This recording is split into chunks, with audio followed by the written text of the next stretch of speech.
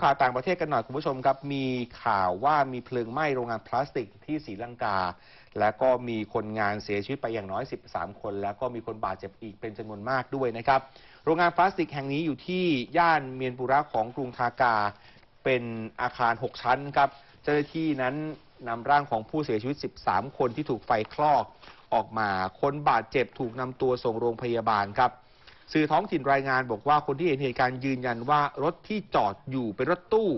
จอดอยู่หน้าอาคารเนี่ยเกิดเพลิงไหม้ครับทำให้ถังแก๊สระเบิด แล้วก็ลุกลามเข้าไปในชั้นล่างของอาคาร ซึ่งข้างล่างของอาคารนั้นเต็มไปด้วยพลาสติก ซึ่งแน่นอนว่ามันติดไฟง่ายครับและตอนที่เกิดเพลิงไหม้ก็มีคนงานอยู่ในอาคารหลังนี้ประมาณ 70 คน